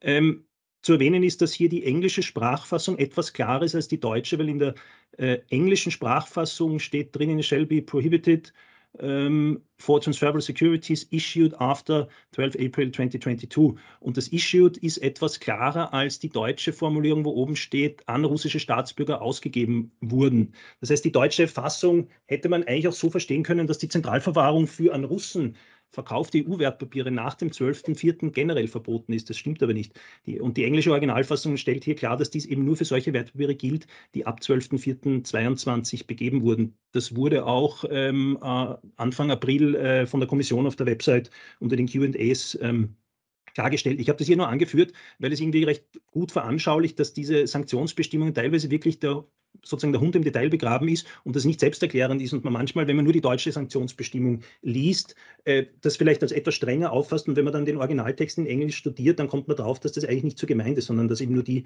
äh, Wertpapiere gemeint sind, die eben nach dem 12.04. begeben wurden. Dann kommen wir zu einem weiteren wesentlichen äh, Verbot, äh, das für die Banken in der Praxis sehr relevant ist, und zwar das Verbot der Bereitstellung von Euro-Banknoten und Banknoten anderer EU-Währungen an äh, russische Staatsbürger und an juristische Personen in Russland. Es ist hier verboten, äh, es geht aber hier nur um Bargeld, nicht um Überweisungen. Klarerweise, es ist verboten, Bargeld äh, für, zur Verwendung in Russland zu verkaufen, zu liefern, zu verbringen oder auszuführen. Es gibt eine Ausnahme, und zwar dann, wenn es für den persönlichen Gebrauch äh, für eine Reise nach Russland äh, vonnöten ist, beziehungsweise auch für Diplomaten. Ähm, hier sollte man vielleicht ab einer gewissen Betragshöhe als Bank sich vom Kunden bestätigen lassen, dass äh, das Bargeld nicht nach Russland verbracht wird, weil eine andere Auslegung der ähm, sehr weiten Textierung äh, wäre wohl überschießend, denn dann, dann dürfte man die betreffenden Kunden ähm, eigentlich nie etwas auszahlen, weil ja nie ganz ausgeschlossen werden kann, dass hier Bargeld nach Russland verbracht wird. Aber letztlich ist es natürlich schwierig, das Verbot als Bank äh, zu kontrollieren, solange man keine Anhaltspunkte hat.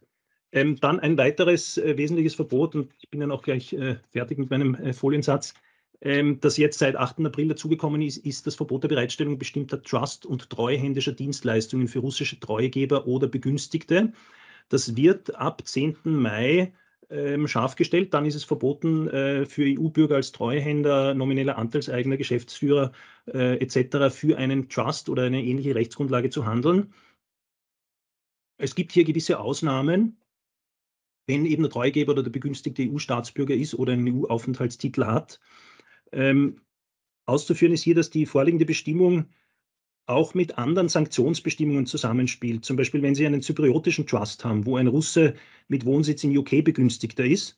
Und es gibt eben keine Ausnahme für UK-Wohnsitz. Das heißt, der Russe wird äh, behandelt, wie wenn er seinen Wohnsitz in Russland hat und zusätzlich ein österreichischer Staatsbürger Protektor dieses Trusts ist. Dann greift jetzt noch die Ausnahme vom Einlagenverbot über 100.000 Euro, weil ja der österreichische Staatsbürger, der Protektor ist, des Trusts eben auch wirtschaftlicher Eigentümer ist und der darf eben nicht sanktioniert werden. Aber bis 10. Mai müsste der Österreicher sich zurückziehen. Und dann müsste man die, diesen zypriotischen Trust, wenn der Unternehmen in Österreich hält äh, zu 100 Prozent, dann müsste man diesem Unternehmen äh, die Konten sperren. Dann äh, hier noch äh, eine weitere Aufzählung von, äh, von weiteren Sanktionsbestimmungen, die wir teilweise auch schon äh, oben behandelt haben, also zumindest der Ausschluss westlicher Banken, äh, wesentlicher Banken, pardon, wesentlicher russischer Banken vom EU-Kapitalmarkt. Es ist natürlich auch verboten, Staatsanleihen Russlands zu zeichnen, mit diesen zu handeln. Ähm, es, es gibt auch ein Verbot beim Börsenhandel und es gibt auch ein Transaktionsverbot mit der russischen Zentralbank. Das führt dazu, dass ähm, die äh, Währungsreserven, die in, äh, westlich, im westlichen Ausland lagern, das sind ungefähr 55 Prozent der russischen Währungsreserven, damit eingefroren wurden. Ich hätte ursprünglich gedacht, dass diese Sanktionsbestimmung besonders hohes äh, politisches Eskalationspotenzial hat. Anfang März ist ja auch der Rubelkurs ziemlich eingebrochen, hat sich aber leider mittlerweile wieder recht äh, stabilisiert durch die Bezahlung von, von Gas in Rubel, weil es ja in, äh, sozusagen in Russland von der Gazprom-Bank konvertiert wird dann in Rubel und dadurch ist die Nachfrage nach Rubel wieder angestiegen. Ähm, insofern kann man zusammenfassend sagen, die Auswirkungen der Finanzsanktionen auf die österreichischen Banken. Ähm, Zahlungsverkehr mit Russland funktioniert nach wie vor, weil eben bis jetzt nur 23 Prozent der russischen Banken gelistet sind. Äh, die Finanzsanktionen richten sich natürlich in erster Linie an die Banken. Das heißt, viele österreichische Unternehmen sollten nicht tangiert sein, auch weil in erster Linie russische Staatsbürger und juristische Personen aus Russland sanktioniert werden und ja die Banken natürlich die Einhaltung der Sanktionen prüfen müssen. Aber Sanktionsbestimmungen können äh, auch ausstrahlen, wenn zum Beispiel ein österreichisches Unternehmen indirekt einem russischen Staatsbürger zuzurechnen ist, wenn der über 50 Prozent hält und kein EU-Staatsbürger äh, Miteigentümer ist. Ähm, klarerweise bei jeglicher Bankfinanzierung äh, ist zu prüfen und sicherzustellen, dass keine sanktionierten Güter finanziert werden. Das führt auch dazu, dass Banken sich natürlich nicht nur mit den Finanzsanktionen äh, auseinanderzusetzen haben, sondern mit allen Russland-Sanktionen, weil natürlich bei jeder Transaktion geprüft werden muss, ob es sich hier um verbotene Export oder Import äh, ähm, handelt ja, damit äh, bin ich mit meinen Ausführungen zu Ende und äh, stehe für Fragen gerne zur Verfügung. Danke. Ja, vielen Dank, Herr Dr. Egger, für diesen ähm, sehr umfassenden und klaren Überblick ähm, und auch für die Aussicht ähm, am Ende, dass natürlich die Bankensanktionen nicht nur Banken betreffen, sondern eine Reihe von Unternehmen, insbesondere auch über das Verbot der Finanzhilfe für sonstige Transaktionen, die den, äh, die den Sanktionen unterliegen. Ich hätte eine ganz simple Frage, ähm, weil wir gesehen haben, dass sowohl die Bankensanktionen äh, als auch die Exportsanktionen und Importsanktionen letztlich einen, einen Komplexitätsgrad erreicht haben, der sehr schwer zu handhaben ist. Äh, wie findet man sich denn da am besten zurecht? Der Rat veröffentlicht regelmäßig von der Kommission erstellte QAs im Tagestakt. Eigentlich werden die hochgeladen. die ÖNB veröffentlicht was, die WKO hat eine sehr, sehr hilfreiche Website. Äh, wo beginnt man aus Ihrer Sicht am besten, wenn man sich damit befassen muss? Also ich glaube, am besten als Einstieg ist äh, die, also nicht nur unsere WKÖ-Website, äh, aber die finde ich zum Beispiel sehr gut äh, ähm, geordnet. Das äh, ist also nicht sozusagen die Website der Bundessparte, sondern die Website der Gesamtkammer. Wir haben einige Kollegen, die sich wirklich nur mit Sanktionen beschäftigen und das würde ich als Einstieg empfehlen. Dann gibt es den Leitfaden der ÖNB, der immer aktualisiert wird. Da gibt es jetzt die fünfte Auflage. Der äh, widerspiegelt auch die wesentlichen ähm, Auslegungen der Kommission, aber man wird nicht ganz umhin kommen, äh, regelmäßig, äh, so machen wir das jeden Tag, auf die Kommissionswebsite zu schauen und sich dort die QAs äh, durchzuschauen.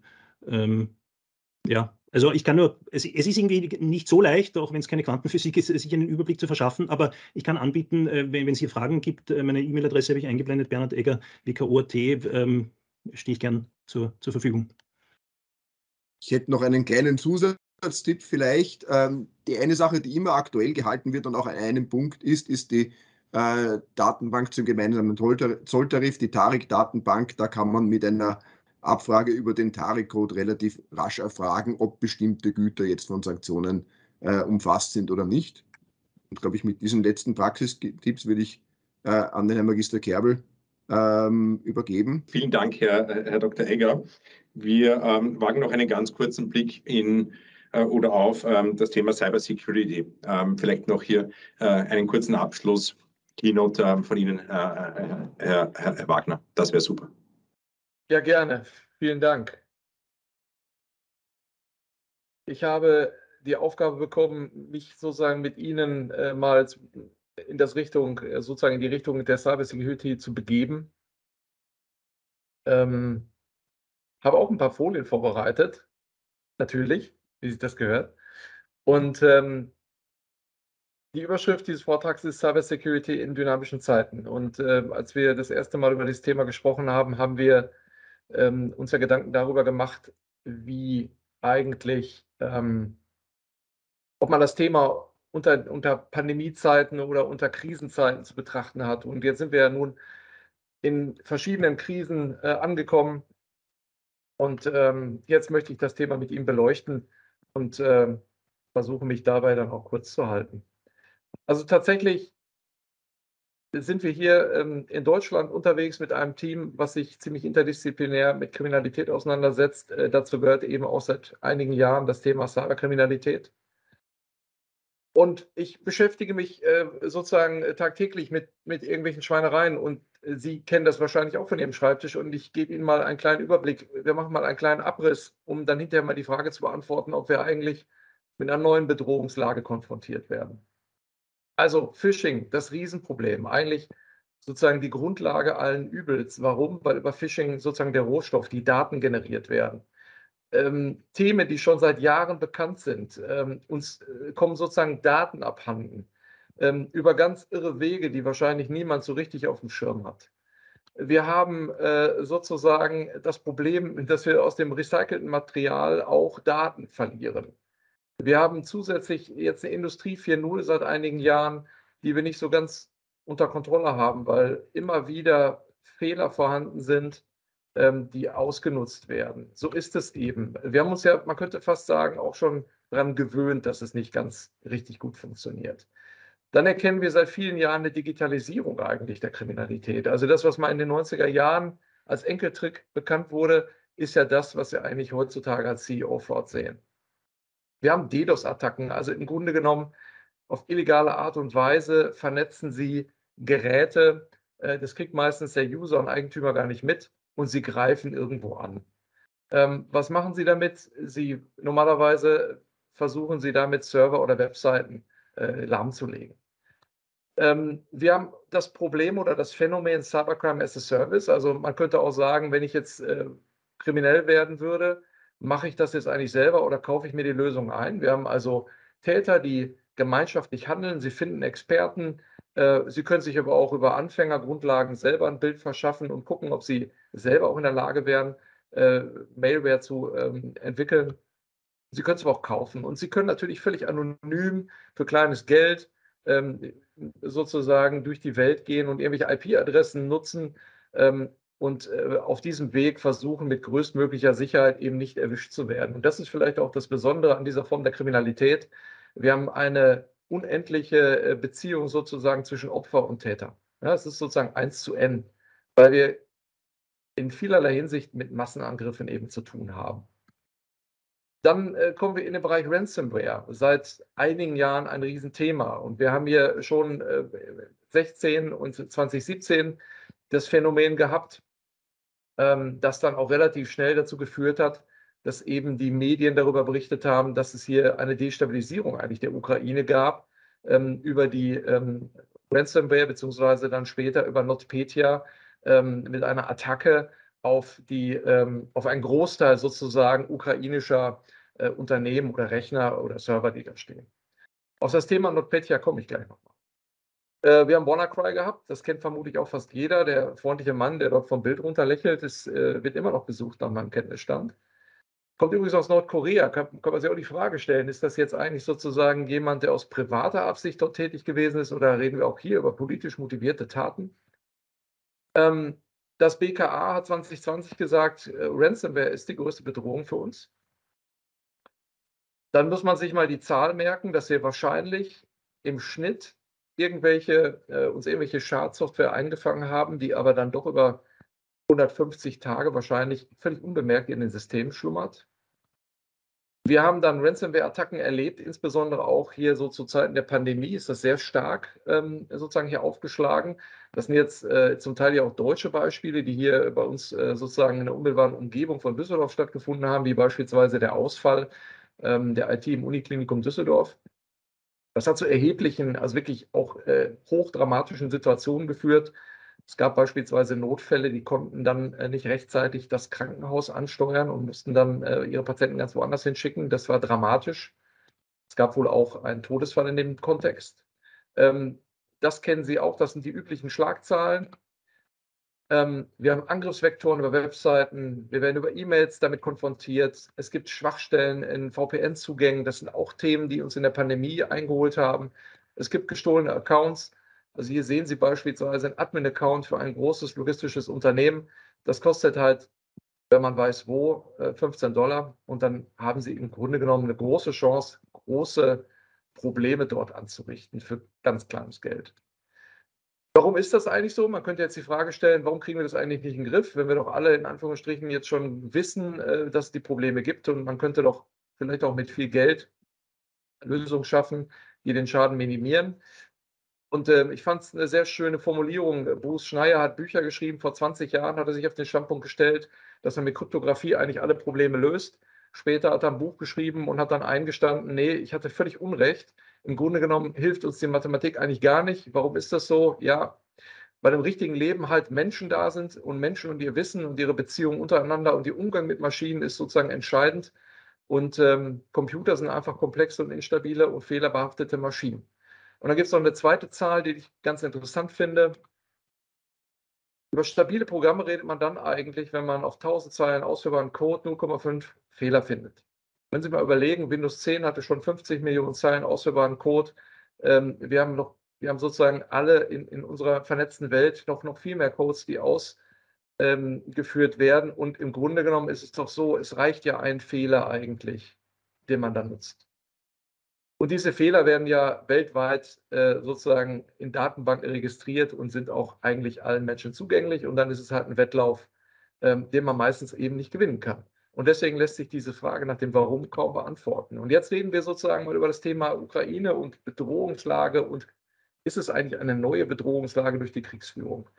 Und jetzt muss ich schon einräumen, ich selber, ich bin weder ähm, Verteidigungsspezialist äh, im militärischen Bereich. Ich habe da auch keine Berührungspunkte zu. Ich bearbeite hier Wirtschaftsunternehmen. Wir haben viele äh, große Unternehmen und Konzerne, die im In- und Ausland unterwegs sind. Und ich kann mich im Grunde genommen eigentlich nur auch auf das stützen, was ich beobachte und was ich aus den Firmen zurückgespiegelt bekomme, was Teil meiner Arbeit ist und was natürlich hier bei uns in Deutschland die Behörden auch sagen oder was insbesondere dann das BSI veröffentlicht. Und wenn man das alles mal zusammennimmt, dann stellt man natürlich schon fest, ja, wir haben eine Destabilisierung auch erlebt, auch insbesondere zu Beginn äh, sozusagen des Angriffskrieges. Wir haben einen Angriff auf ähm, Infrastrukturen und wir haben vor allen Dingen Desinformation. Wir haben dort Ransomware-Angriffe, ähm, die dokumentiert sind und wie die bekannt sind. Es gibt DDoS-Attacken, es gibt Hack von Websites, insbesondere in der Ukraine. Und es geht darum, das Ziel ist, für den Nutzer unerreichbar zu machen. Also wenn Sie dort sozusagen einen Blick in die Medien riskieren, dann werden Sie feststellen, okay, ähm, das kenne ich eigentlich alles. Und äh, das haben wir auch gerade eigentlich alles schon gesehen. Also das sind im Grunde genommen, ja, Attacken, die werden jetzt durchgeführt, die werden auch sozusagen zweckorientiert und zielorientiert durchgeführt, sind aber meines Erachtens doch offensichtlich jetzt auch keine ganz neuen Bedrohungslagen. Ähm, der zweite, das zweite Thema, was ich doch sehr interessant finde, weil es aus meiner Sicht doch noch einen viel stärkeren Raum eingenommen hat. Wir haben das schon bei den letzten Wahlen festgestellt. Ähm, Fake News, ähm, gefälschte Videos und Bilder, ähm, das ist schon ein Problem. Sozusagen, äh, Sie können ja heute aus Computerspielen im Prinzip Szenen herausnehmen, die veröffentlichen und Sie müssen dann erstmal feststellen, ist das jetzt eigentlich richtig oder nicht. Also die Verlässlichkeit von Daten zu bestätigen, ist einfach wahnsinnig schwierig geworden und das ist mit Sicherheit ein Problem, was uns alle einholen wird. Äh, dritter Punkt ist im Grunde genommen, äh, man könnte vielleicht sagen, erfreulicherweise ist Russland kein ganz starker Entwickler und hat keinen ganz starken Vertrieb von Software, die global eingesetzt wird. Bekannt und wahrscheinlich am bekanntesten ist eigentlich Kaspersky mit seinem Virenschutzsystem. Und da ist es tatsächlich so, es gibt im Grunde eine amtliche Warnung äh, des BSI, die ist am 15. März veröffentlicht worden, die sagt ähm, oder die warnt und empfiehlt den Unternehmen äh, von Kaspersky äh, auf andere Anbieter zu wechseln. Im Grunde genommen liegen die Gründe ja auf der Hand. Zum einen ähm, können wir mit Sicherheit sagen, dass sozusagen Kaspersky äh, selber noch verlässlich ist ist sozusagen der Weg zu Kaspersky noch verlässlich? Wenn Sie im Virenschutz arbeiten, brauchen Sie im Grunde genommen eine Verbindung in die Richtung. Wird vielleicht das Unternehmen auch gegen seinen Willen für staatliche Zwecke eingesetzt? Das weiß man alles nicht. Deswegen gab es die amtliche Warnung. Und dann gibt es aus meiner Sicht ja noch einen weiteren Punkt. Im Grunde genommen ist es so, die, die Industrie, die diese Virenschutzprogramme Anwendung zur Verfügung stellt, tauscht sich normalerweise eng aus. Ich weiß nicht genau, kann auch nicht beurteilen, dieser Austausch auch noch sichergestellt ist. Die Frage ist dann, ob die Software noch qualitativ das abbildet, was man eigentlich erwartet. Ähm, das nächste Thema, was ich sehr bedenklich finde persönlich, ist sozusagen dieser Aufruf ähm, von Privatpersonen im Cyberraum zum Gegenangriff. Das haben Sie auch wahrgenommen. Da gab es schon äh, viele Schlagzeilen zu dem Thema. Hm, das kann man aus ethischen und auch ganz vielen verschiedenen Winkeln äh, betrachten unterm Strich stellt sich für mich immer die Frage, ist das eigentlich zulässig? Und ich kann das zumindest mal für Deutschland sagen, wenn Sie in Deutschland sitzen und hacken, dann ist das zunächst mal eine Straftat. Und das spielt zunächst mal auch gar keine Rolle, ähm, für wen und wie Sie da vorgehen. Äh, mit hoher Wahrscheinlichkeit ähm, wissen Sie im Grunde genommen ja auch gar nicht, wo Sie hinterher rauskommen. Also wenn Sie sozusagen da einen Angriff fahren, wer sagt Ihnen denn am Ende des Tages, ob nicht sozusagen die Server und die Verbindung und alles das sozusagen getroffen wird, was vielleicht gar nicht in Russland steht und im Grunde genommen äh, mit äh, der aktuellen Situation dort auch nichts zu tun hat. Ähm, das BSI selber sagt, deutsche Unternehmen, gezielte Angriffe auf deutsche Unternehmen, deutsche Wirtschaft hat es so bisher noch nicht beobachtet. Ähm, ich habe da auch keine andere Information. Für Österreich, ehrlich gesagt, kann ich jetzt nicht sprechen. Ähm, aber sozusagen insgesamt habe ich das jedenfalls nicht wahrgenommen, dass es explizit gezielte Angriffe sind, die hier mit dieser Bedrohungslage und mit der Ukraine-Krise zu tun haben. Was ich eher festgestellt habe, ist, und was man auch im Grunde genommen hier im wirtschaftlichen Kontext hört, ist eben, dass es den einen oder anderen Kollateralschaden eben gegeben hat, weil am Ende des Tages auch vielleicht auch vermeintlich Dienstleistungen, Produkte oder, oder Unternehmen irgendwo ähm, dem Land Russland zugeordnet wurden, die aber damit gar nichts zu tun haben. Also da gibt es zahllose Beispiele. Ähm, das ist nicht immer der Riesenimpact, aber zum Teil ist es dann doch, kann man sagen, Kollateralschaden, der vielleicht auch gar nicht beabsichtigt war, aber doch eingetreten ist. Wir haben natürlich das Thema der Trittbrettfahrer. Das hatten wir im Übrigen auch in der Pandemie. Ähm, immer dann, wenn es darum geht, äh, sozusagen äh, Beihilfen abzugreifen, gibt es dann auch betrügerische Phishing-Mails in diesem äh, Konflikt der Ukraine-Krieg ist das eben auch so. Es gibt Leute, die dann eben versuchen, in Verbindung mit diesen Opferfluchthilfen ähm, Geld abzukassieren. Äh, das ist aber sozusagen ein Phänomen, das ist ein Nebenkriegsschauplatz, aber der ist eben doch da und es kann auch zum Problem werden. Das heißt für mich das Fazit, um, um sozusagen die Eingangsfrage zu beantworten, in aller Kürze und in aller Vorsicht, Ja, es gibt eine Bedrohungslage. Ja, äh, die Behörden sagen auch, sie ist abstrakt vorhanden, kann sich auch jederzeit ändern. Aber ausgehend von diesen Informationen, die aktuell vorliegen, hat sich zumindest mal die Bedrohungslage noch nicht dramatisch in die Richtung verändert, dass die Wirtschaft sich mehr fürchten müsste als vorher. Weil ehrlich gesagt, alles das, was sozusagen hier im Umfeld unterwegs ist, ist gefährlich. Zwei Hinweise noch. Ähm, sehr interessant, im Januar ein Urteil aus den USA, ähm, aber vielleicht noch nicht sozusagen, noch nicht ganz die Relevanz, weil es noch sehr früh ist. Ich glaube, erst in der ersten Instanz eine Entscheidung herbeigeführt wurde. Hier geht es nochmal um NotPetya. Ich hatte das vorhin eingangs erwähnt. Im Grunde genommen ging es um die Frage, war das ein Cyberangriff auf die Ukraine 2017 und war das damals schon ein militärischer Akt? War das eigentlich ein Kriegsakt? Ähm, und das ist eine ganz interessante Frage für die Versicherung. Und das wäre dann auch im Grunde meine Empfehlung. Vielleicht sollte man jetzt seine Versicherung mal prüfen.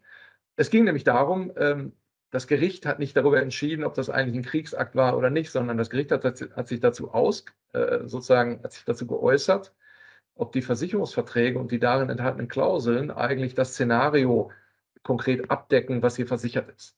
Also ganz interessanter Punkt. Ähm, Wäre meine Empfehlung, wenn Sie in die Richtung Cyberversicherungen haben. Ähm, ich kriege ja immer äh, sozusagen hier mit tagtäglich in Anführungsstrichen, äh, dass der Versicherungsschutz ohnehin problematisch ist. Aber hier fand ich sehr spannend, weil wir werden uns ja mit der, sozusagen auch zukünftig mit der Frage auseinandersetzen müssen, ähm, wie sind Cyberrisiken eigentlich versichert? Weil sie feststellen werden, dass die Versicherer, äh, die großen Konzerne sehr zurückhaltend geworden sind, das Geschäft sehr eingeschränkt haben und ihre Versicherungsbedingungen auch sehr, sagen wir mal, interessant auslegen. Und ähm, ich meine, man muss nur in die Welt schauen. Es ist äh, heute sozusagen schon in der Intro dargelegt worden. Man wird sich auch zukünftig mit einer Bedrohungslage auseinandersetzen müssen. Und die Frage, die sich dann stellt, ist, wenn das alles was militärisch und irgendwelchen Geheimdienstaktivitäten zugeordnet wird, nicht mehr versichert ist, ist das schon deswegen allein schwierig, weil man weiß es ja meistens gar nicht, wer es eigentlich war. Und dann reden wir sozusagen im luftleeren Raum über irgendwelche Zuordnungen, die man dann treffen muss, die man aber vermutlich äh, kaum beweisen können wird. Also eigentlich ein ganz spannendes Thema, wenn es nicht am Ende des Tages so viel Geld kosten würde und relativ traurig wäre. Ähm, wichtige Empfehlung, glaube ich grundsätzlich, das mache ich jetzt wirklich kurz, äh, beschränke mich mal auf die IT-Prozesse. Ähm, auch hier geht es darum, Sie müssen in Ihren Unternehmen dafür sorgen und wenn Sie selber nicht sozusagen eine IT-Schnittstelle sind, dann müssen Sie bitte aus dem Management heraus dafür sorgen, dass überprüft wird, ob die Notfallpläne funktionieren, die Sie haben. Wie ist die Erreichbarkeit, wie ist die Verfügbarkeit? Ähm, ist die Angriffsfläche minimiert worden? Also wird regelmäßig gepatcht, also werden Updates reingefahren, äh, dass die Systeme auf dem neuesten Stand sind. Das ist nicht immer einfach, wenn man mit Insellösungen unterwegs ist, wenn man in der Produktion mit, mit alter Software arbeitet äh, und so weiter. Also ist die Härtung der Systeme äh, steht im Vordergrund. Ähm, wie kann man sozusagen die Detektion verstärken? Also schauen Sie vielleicht ein Stück weit mehr, ähm, wie die Zugriffe auf externe äh, Systeme aussehen. Das kann man monitoren, das sollte man tun, um einfach zu schauen, ob sich da mehr Anomalien auftun als in der Vergangenheit. Und natürlich das Thema Backups ist das A und O ähm, hier gibt es einfach ganz interessante, in der Praxis einfach ganz interessante Phänomene. Wir haben Mandanten erlebt, die da in einer Krise dastanden. Ähm, ja, wir haben Backups, alles super. Und dann stellt man fest, oh, wir sichern noch auf Bänder, aber wir haben gar keine Möglichkeit mehr, diese Bänder zurückzuspielen und so weiter. Also, wo es dann ein technischer Super-GAU ist. Ähm, dass das alles im Grunde genommen, dass IT-Sicherheit ein Prozess ist, ist eigentlich klar. Das ist heute, äh, glaube ich, äh, allen, die sich mit dem Thema beschäftigen, auch klar. Informationssicherheitsmaßnahmen habe ich gerade angesprochen. Sie müssen Ihre Leute sensibilisieren. Äh, Sie müssen in Awareness-Kampagnen investieren, um den Leuten zu erklären ähm, und nach wie vor regelmäßig und intensiv zu erklären, warum sie nicht irgendwelche fremden Attachments öffnen müssen und sollen. Also da gibt es eine Menge zu tun. Für Sie vielleicht noch so der kleine Tipp und dann beende ich es jetzt sozusagen mit einem harten Cut. Wenn Sie mögen, können Sie selber mal überprüfen über eine zuverlässige Website, ob Ihre persönliche E-Mail-Adresse ähm, nicht möglicherweise schon bekannt ist und offen liegt und vielleicht auch missbraucht wurde. Das ist sozusagen der Zugang, ähm, diese Website hier, helfabin.com. Vielen Dank für Ihre Aufmerksamkeit. In der Kürze liegt die Würze und äh, damit möchte ich schließen. Super, haben Sie vielen Dank. Dankeschön, Herr Wagner. Ähm, das nächste, was ich jetzt mache, mein, mein Diensthandy wieder in die EDV zum Update bringen. Ja, das mache ich gleich im Anschluss. Ähm, ich habe die Einleitung gemacht. Insofern von mir vielen Dank. Dann bitte ich einfach den äh, Herrn ähm, Privatdozent Dr. Müller, den Abschluss zu machen. Ja, vielen Dank. Ich glaube, es war eine sehr, sehr gelungene und, und, und auch sehr spannende Veranstaltung. Ähm, auch wenn es ein bisschen länger gedauert hat als intendiert, dafür entschuldige insbesondere ich mich, weil ich zu lang war. Ähm, aber hoffen wir, dass wir Ihnen doch einen allgemeinen Überblick gegeben haben. Ähm, wenn Sie Fragen steuerlicher oder auch rechtlicher Natur haben, ähm, stehen wir natürlich sehr, sehr gerne äh, zur Verfügung. Ich wünsche Ihnen einen schönen Abend und äh, ja, auf Wiedersehen. Dankeschön. Bleiben Sie gesund, auf Wiedersehen. Danke, auf Wiedersehen. Danke.